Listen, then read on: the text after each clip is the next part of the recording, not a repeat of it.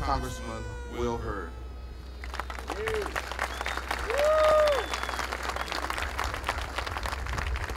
Dr. Earvin, thank you uh, for that introduction and, and, the invitation, and congratulations on 15 years of, of excellence. And to the class of, of 2015, I'm thrilled to be with you on such a special occasion. Now, Dr. Earvin told you a little bit about me, and before I start my remarks, I want to know a little bit about y'all. Now, I know he said put away all the noisemakers and all that stuff, but y'all can use it for the next minute or so. So if I say something, I want to say a couple of sta- statements, and if that statement is true for you, I want you to stand up, yell, holler, do whatever, cause general commotion. All right? So here we go. I'm from San Antonio. There we go. All right, all right. I'm from H Town. I'm a friend or family member of Kalia Terrell. You know, I saw all the shirts when y'all came in. Come on, I expect y'all to be more hyped than that. Come on now. All those shirts. Thank y'all. All right now. All right. Kalia, girl, you brought a lot of people here to the show. I've spent time at Dr. Wilson's dumpster. You know, I, I knew that dumpster before it was actually a dumpster. It was called our, our college dorm room at, at Texas A&M. I've enjoyed Catfish Friday a time or two. I'm excited about my new job. I'm excited that my son or daughter's got a new job. Y'all ready to get him out of the house, huh? I've had Dr. Old Mixon bucks my chops before. well, look, this is, this is an honor to be here with, with y'all today. And if I'm being frank, I didn't know what I was going to say until about six days ago. I was in the back of a cargo plane, a C 130, traveling from ba- Baghdad to Jerusalem. I was on a congressional delegation and there was 12 of us and we'd only been in the middle east about 18 hours so we were a little jet lagged and if you've ever ridden in the back of a cargo plane a c-130 let me tell you it's not comfortable.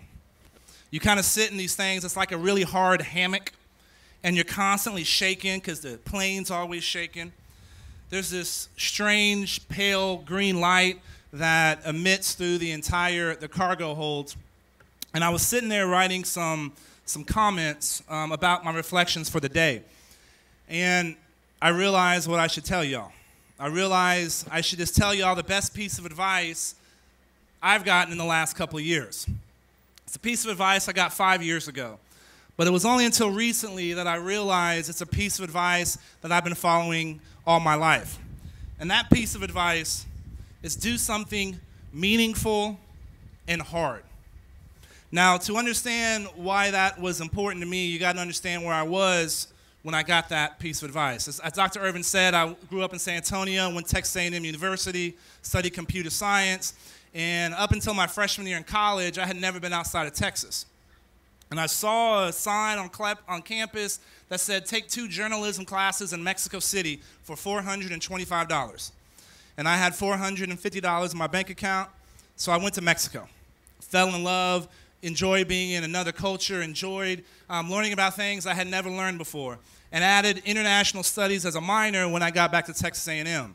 And the first class I took, we had a guest lecturer, and he was a former senior officer in the Central Intelligence Agency. And he told me some of the most amazing stories I've, I've ever heard. And the next day, I went and knocked on his door and said, Tell me more and he told me some more amazing stories, and that began my interest in intelligence and began my interest in going in the CIA. Now, I had always thought I was going to be a computer programmer for IBM. I'd done an internship with IBM. Um, when I got close to graduation, I applied, and they offered me a really good paying job. And I went ahead and applied to be in the National Clandestine Service of the CIA. And I accepted that job. And that wasn't a good paying job. You know, it was about a third of what IBM was offering, but I took it anyways. Now, my dad thought I was crazy. And my dad, up until this point, had never really told me what to do except for one time When I was leaving San Antonio to go to Texas A&M, he said, "Son, you should break up with your girlfriend." Yeah, exactly. I was outraged, right? And I had a freak out like only a 17 year old boy could. And less than a year later, we had a messy breakup. And I wish I would have listened to my dad. But this time he said, listen, you, IBM pays more and it's not as dangerous. But he realized very quickly that I liked a challenge and wanted to do something impactful. And so I joined the CIA. And I was the dude in the back alleys at 4 o'clock in the morning recruiting spies and collecting intelligence on threats to the homeland. I lived in D.C. for two years, India two years, Pakistan for two years, New York City for two years, and Afghanistan for a year and a half. It was a great job. I did things like chase Al Qaeda all over the world. I helped a million girls go to college by getting rid of the Taliban outside of Afghanistan. Well, you can clap for that. I saw things and did things I never imagined I would do. It was a really hard job, and it was awesome being part of an organization that helped make the world a safer place. One of the other things I did when I was the CIA was brief members of Congress. And I probably briefed about 100 members of Congress, and I was pretty um, disappointed in the caliber of our elected officials.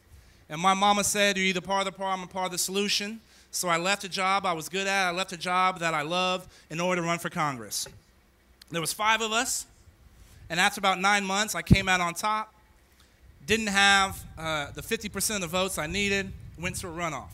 And folks that followed elections was like, Will Hurd's got this in the bag. Will Hurd's going to win. My opponent thought I was going to win. The people that worked for him had to put out their resumes to find another job.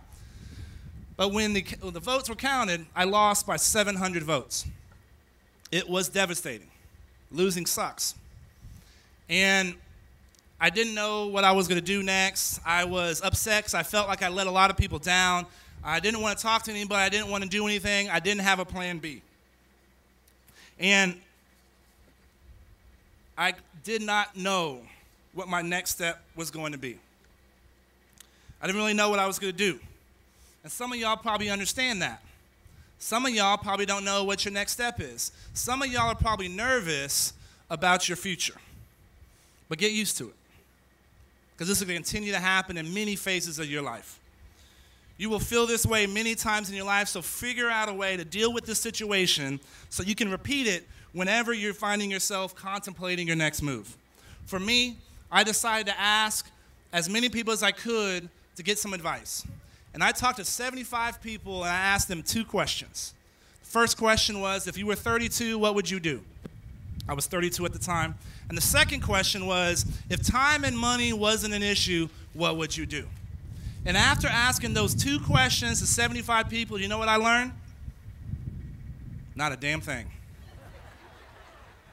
Pardon my language. Uh, it, was, it was really disappointing. But I was glad that the 75th person I asked was the dad of one of my closest friends that I've known since I was 13 years old. And he said, Will, I don't know what you should do, but if you do something meaningful and hard, all that other stuff will work its way out. Meaningful and hard. You know, I didn't realize how important that piece of advice was at the time because I thought it was too simplistic.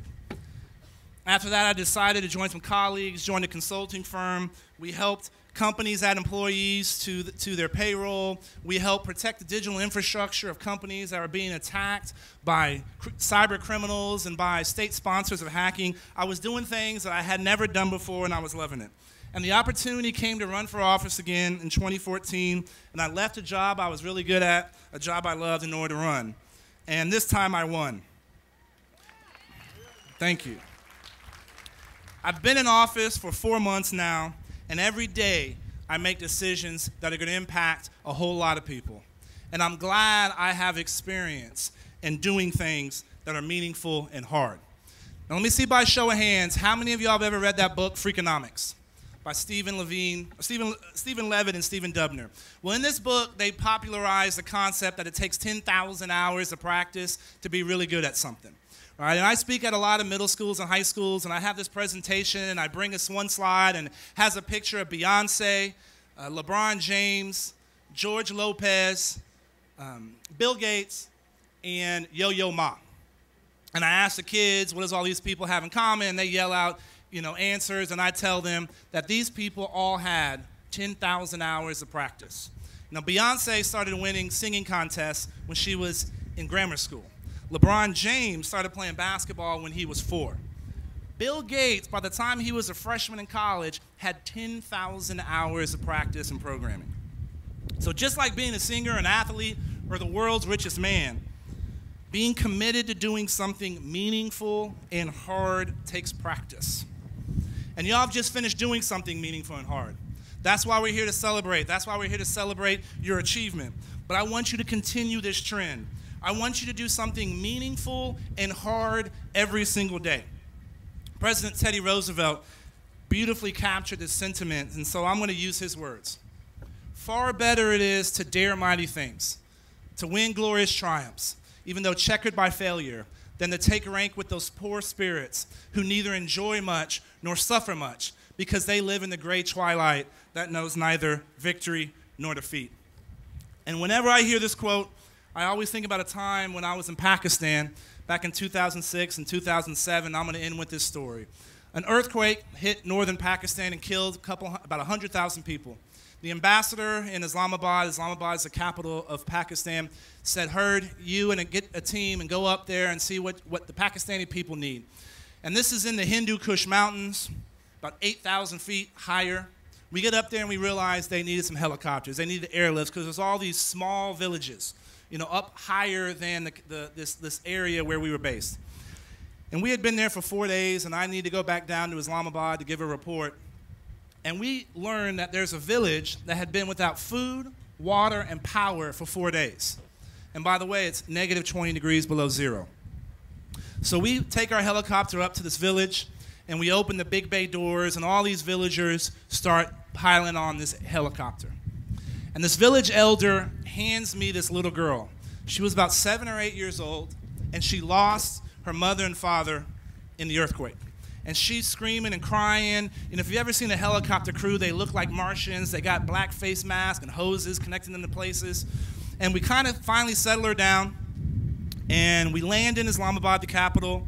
We open the doors. I put her down. She runs away. And she takes about 10 steps, turns back, runs back to me, gives me the biggest hug I've ever gotten in my life. And then she kisses the helicopter crewman on the hand, and he pats her on the head and gives her the thumbs up, and she runs away. And that girl's face is going to always be seared into my mind because it's an example of how the United States is the only country with the resources and the willingness to help people even if they're 6,000 miles away. And we can do this because our nation is filled with people. Yes. We, we can do this because our nation is filled, are filled with people that are unafraid to do what is meaningful and hard. People like you. And again, I want to say once more, congratulations on such an accomplishment. It's an honor to be here today. And go out and continue to make us all proud. Thank, Thank you. you.